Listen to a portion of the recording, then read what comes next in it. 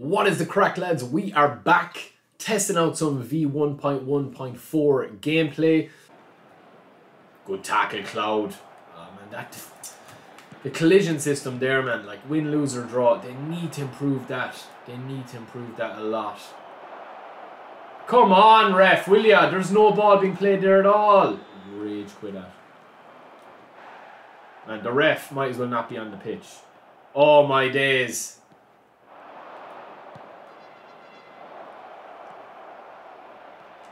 Eddie No, I just can't score, man.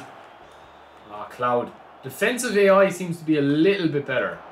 I'm not gonna I'm not gonna say everything yet, but the defensive AI seems a little bit better. Um, sorry if the mic was a bit far away as well, lads. Oh my god, that's a terrible pass. He's gone route one. Lovely. We go now. Now we can concentrate. Now we can start build attacks. Lovely Neymar. Haaland. Cloud. And a touch. Haaland! No, was, there was there was a bit of a risk reward before at it. You know? And I just feel that that's kind of gone now a little bit. Roberto Carlos. Haaland's in there. Great ball! Oh, beautiful. That looked like a Haaland goal, didn't it? I just feel like there's so much assistance there now that, like, that's my biggest problem. Like, I don't mind the game assisting you a little bit because obviously, you know, they have to keep it balanced in a way that you're, you know, you don't want, I don't want winning 10 0 every game or every single pass I make coming off. Like, but there's no real, in my opinion, there's no real deterrent against somebody playing completely balls to the wall. Like the space no. that comes up, and you when you get a bit of space, it kind of closes down automatically because there's so much assistance with the defending. That's just my opinion at the moment. Like he's at, look how much space he's after giving me here, and it takes the wrong option. I'm trying to pass that into Romario. Again here, look at the space, Pedri. I can't get the ball over to Pedri. I just can't get it over to him. It's weird. It's weird. It's a weird experience, I think, playing it compared to V1.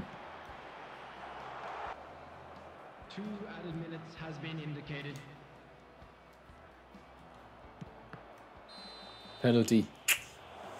Nice from Diaz again, because he gives a lot of space, including this. Neymar. Oh, man.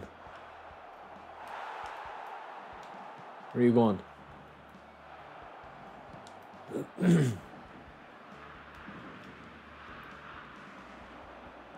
ha! You can't get past Maldini like that.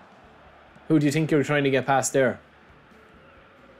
Romario! Oh, the space is there! Romario!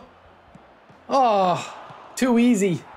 I should have finished there. It just really slowed down there for some reason. But Romario had the balance there to just hold off the defender, which is key.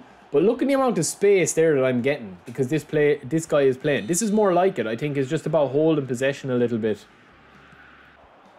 Oh, Maldini, get back. Maldini, what are you doing? What is that? Salah. Easy from up in Upamecano, lads. I'm just going to just take the sting out of this one now. It's great play. And I must say, this game actually feels a lot smoother now than the last one. So connection probably does have a lot to do with it as well. It's brilliant. Mario!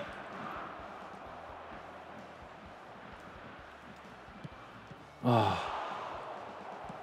Yes! We'll get the sealer. Got lucky there. I've been poor in front of goal. I'm going to analyse this game again, lads, because I do think that this one is a little bit more freer. Am I able to pass the ball around a little bit and take this thing out of the game?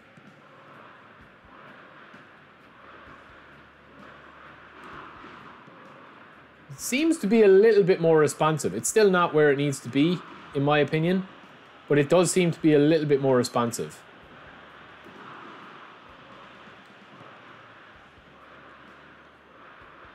Passing seems to be a little bit better. Roll in Romario. Ah, it's too easy for Romario, lads. Ah, what a goal. All right. We could be onto something here, lads. Because I think in the first half of the game, I did a lot of complaining, but I was doing a lot of mistakes myself. And I've kind of gone back to in the second half, gone back to playing a little bit more possession, drawing into the players. I just still do think though that there is way too much assistance with the defensive AI.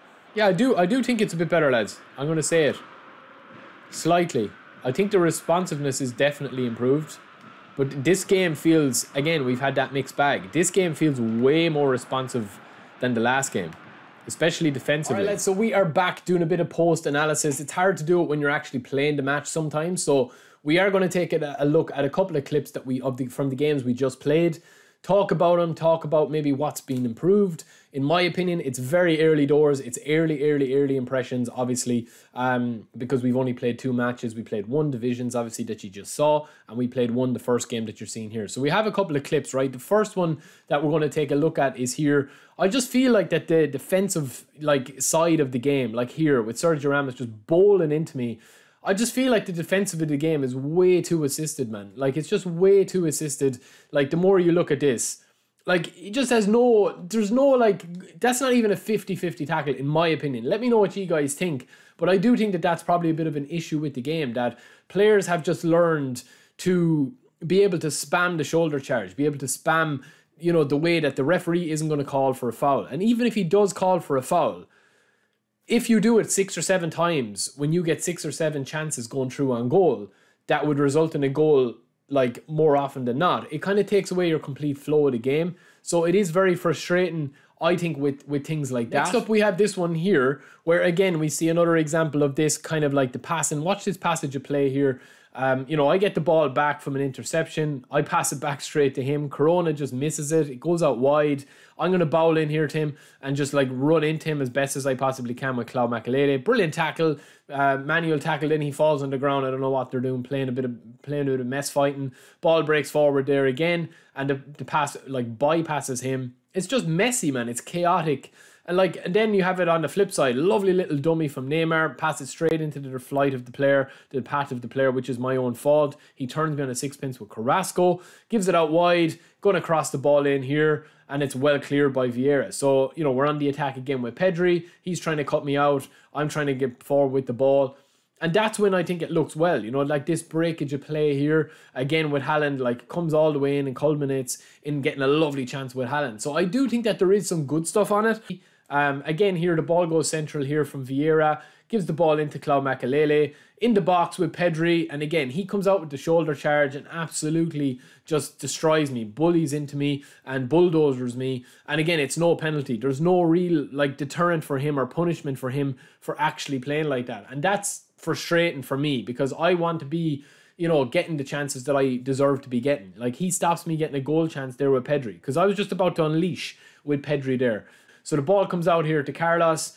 Okay, get the ball on. I'm ready to go. Watch this for a pass here. Just a simple touch and go. Carlos just, I don't know what he's doing. I try to turn in. Takes all day to turn in. He gets a chance drifts past me and he gets a header on goal. Now, again, from me here, right? Yeah, it could be a mistake from me. I'll own that one. So I'm not going to crib too much about it, but it is kind of frustrating that he's on the run here. Lovely pass. All I need to do is a little touch. And it's not even a bad ball. It just seems to be without his pad. But that's a 50 50 one. I'm not going to criticize it too much because them things kind of do happen in real life as well.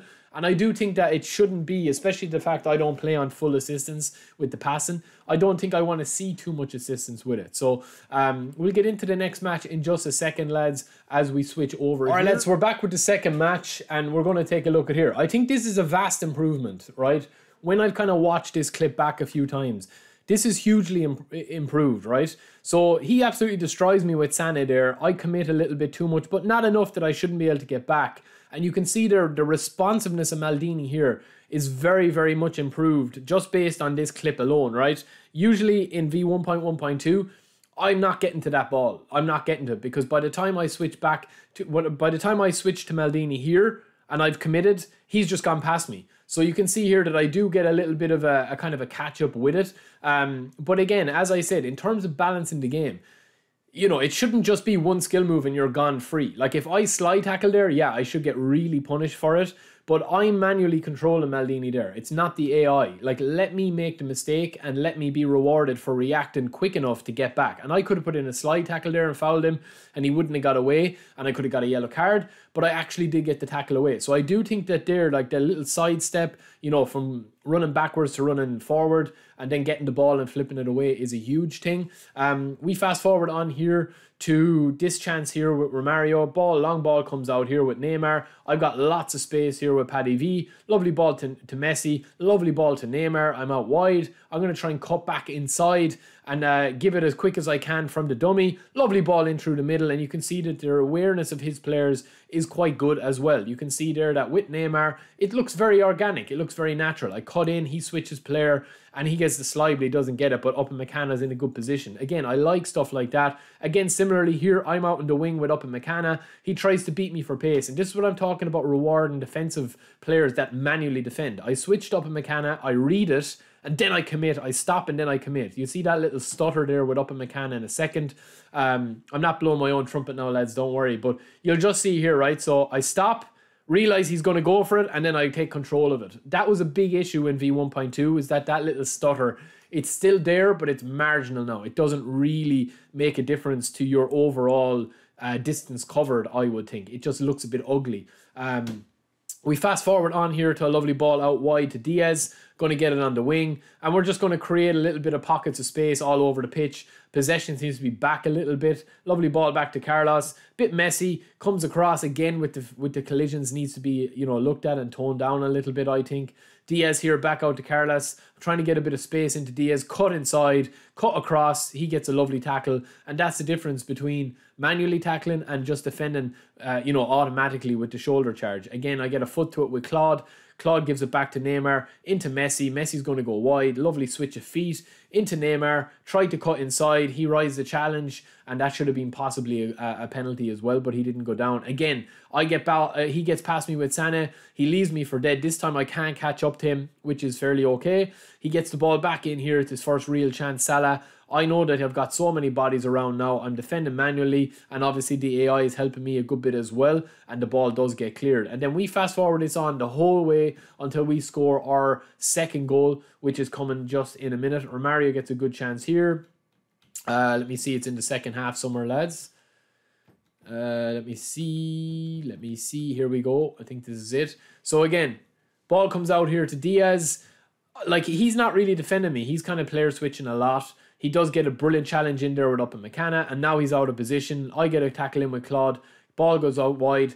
I'm trying to win the ball back. He could very easily get in here, but I switch, I call in a bit of player, and uh, I get the rush on him, and then it's true, straight through with Mario. I do make a bit of a hames of the of the finish. I tried to I tried to uh, kind of like get more power in it, but Neymar does slot it home. And then for the last goal that we get, this is probably um my favorite goal, and probably like why I think uh, I think that this has real potential. This is probably the clip of the day, right? So again, he tries to rush it from attack. I have one, two, three, four, five passes.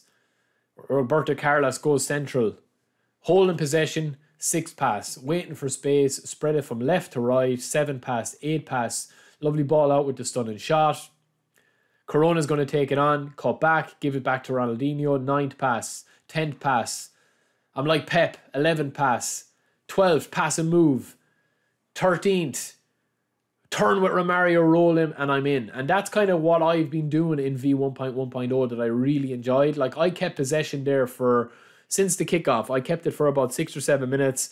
Didn't lose possession, had about what, 14, 15 passes, switched from left to right, right to left all the way on, and then eventually once once it goes central and I get the chance, he overcommits with the AI, and I just absolutely turn him on a sixpence with Romario and walk it in. So lads, look in compar- in in closing this right, it's a fairly lengthy video. Um, we do have the highlights and we do have the analysis of everything from the last game, but.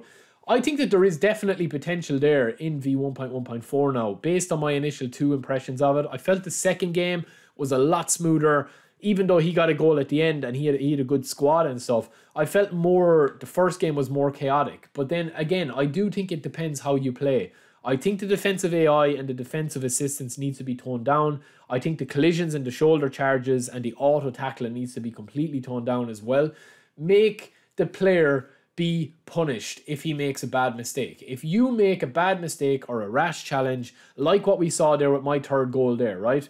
This is what the way the game should be defensively the whole time. He leaves, he's chasing the ball, he's chasing the ball, he's chasing the ball, and then he uses the AI to try and cover his mistakes. I turn him. And look at the space he gives me. I'm in with Ronaldinho, I'm in with Mario. It doesn't make a difference. This is the way it should be nine times out of ten. If you make a defensive mistake, you should be punished for it.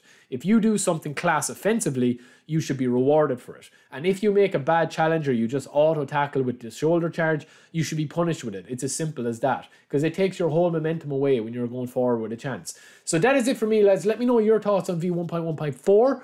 And uh, I'll be back quite soon with another couple of episodes. Don't forget to check out Dream Team Chronicles as well. And uh, yeah, I'll talk to you later, lads.